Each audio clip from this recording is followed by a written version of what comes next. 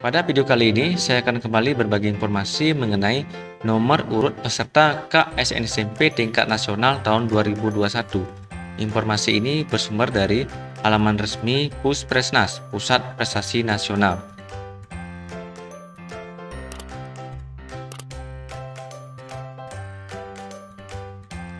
Dalam mempermudah pengawasan dalam pelaksanaan tes KSNSMP tingkat nasional, maka diharapkan peserta mengganti nama SUM sesuai dengan nomor urut yang telah ditetapkan oleh panitia dengan format yaitu nomor urut, strip bidang lomba, strip provinsi, strip nama.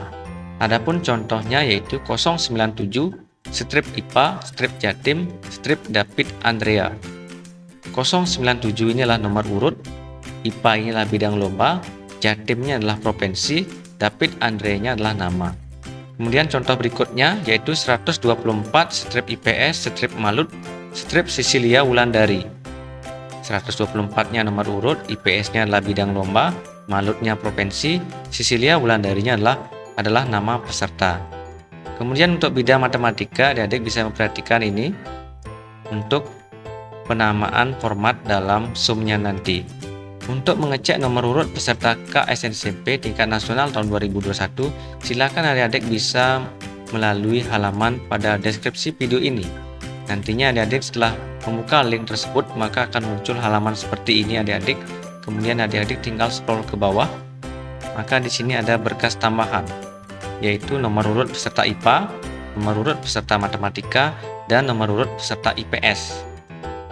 Adik-adik tinggal mengklik saja, misalkan untuk mengecek nomor urut peserta IPA, tinggal klik.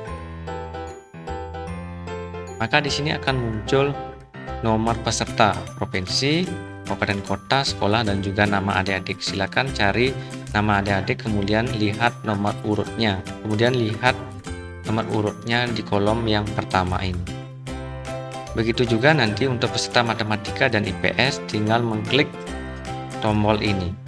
Kemudian adik-adik bisa melihat nomor urutnya sesuai dengan nama adik-adik. Demikian adik-adik mengenai informasi nomor urut peserta KSNSMP tingkat nasional tahun 2021. Semoga dapat bermanfaat dan nantinya pelaksanaannya bisa berjalan dengan lancar.